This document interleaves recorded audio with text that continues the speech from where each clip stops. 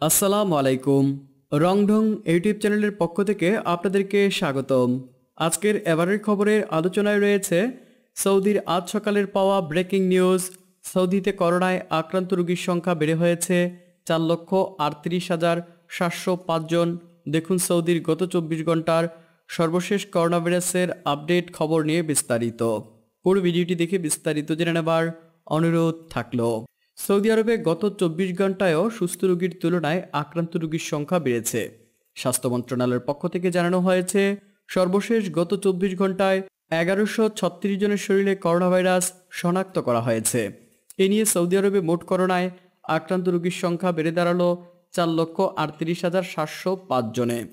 তাছাড়া সৌদির স্বাস্থ্য মন্ত্রণালয়ের পক্ষ থেকে জানানো হয়েছে, আক্রান্তদের মধ্য থেকে গত চব্বিশ ঘন্টায় নয়শো আশি জন সুস্থ হয়ে বাড়ি ফিরেছেন।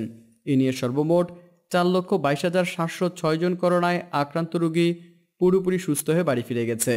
অন্যদিকে গত চব্বিশ ঘন্টায় সৌদি আরবের নতুন করে করোনায় আক্রান্ত হয়ে মারা গেছে জন। এখন পর্যন্ত সব মিলিয়ে সাত হাজার দুইশো চব্বিশ জন করোনায় আক্রান্ত রোগী মারা গিয়েছে।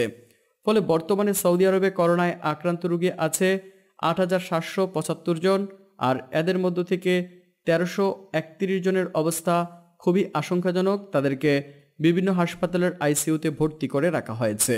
তো চলুন এবার জেনে নেওয়া যাক, গত চব্বিশ ঘন্টায় সৌদির যে সকল এলাকাতে সর্বোচ্চ সংখ্যক করোনায় আক্রান্ত রোগী শনাক্ত হয়েছে তা হল রিয়াদে তিনশো বিয়াল্লিশ জন, মক্কাতে দুইশো ছিয়াত্তর জন, পূর্বাঞ্চলে একশো পঞ্চাশ জন, মদিনাতে তিয়াত্তর জন, আসিরে ছেষট্টি জন, জাজানে উনষাট জন আল কাসিমে সাতচল্লিশ জন, তাবুকে ছত্রিশ জন, নাজরানে সাতাশ জন হাইলে বাইশ জন, আলবাহাতে আঠারো জন, উত্তরাঞ্চলে চোদ্দ জন, আলজৌফে ছয় জন করোনায় আক্রান্ত রোগী শনাক্ত করার খবর জানিয়েছে সৌদির স্বাস্থ্য মন্ত্রণালয়। এই ছিল সৌদি থেকে পাওয়া গত চব্বিশ ঘণ্টার সর্বশেষ করোনার আপডেট খবর।